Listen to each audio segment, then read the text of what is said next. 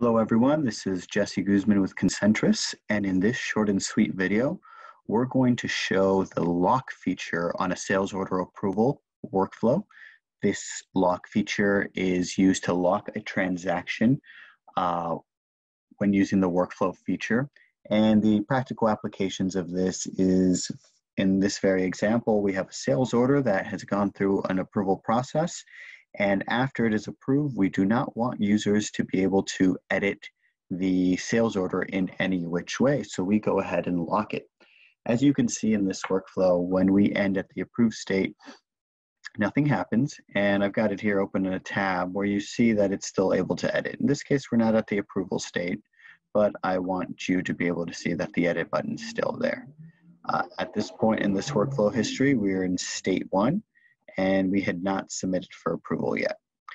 What I'd like to show you is to be able to lock the record, what you'll actually do here is you will add a new action, and it's fairly straightforward. New action, lock record, and we want this to happen before record load.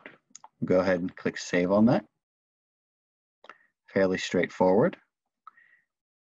And let's save this workflow state.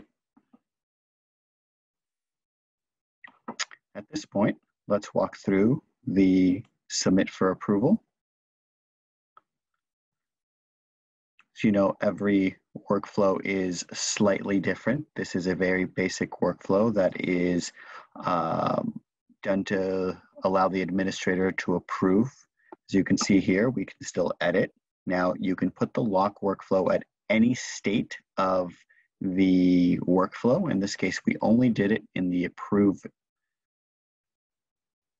state of the workflow, and we've just clicked the approve button here. And as you can see, the order has now changed to pending fulfillment as stated by our workflow, but the edit button is now gone because we have locked the record. Now, practical application of this, you typically would want to send a exception here so that someone like the administrator could potentially override it. So when the user role is none of administrator, we would lock this record. And this is the condition that you would set. User role is none of administrator. Obviously, you can substitute this for any role that you want to be able to see the record. And now it'll lock the record for everybody else other than the administrator. As you can see, we now have the edit button again, only because we are the administrator. Hope this video was helpful and please check out our website for additional sweet, short and sweet videos. Thank you.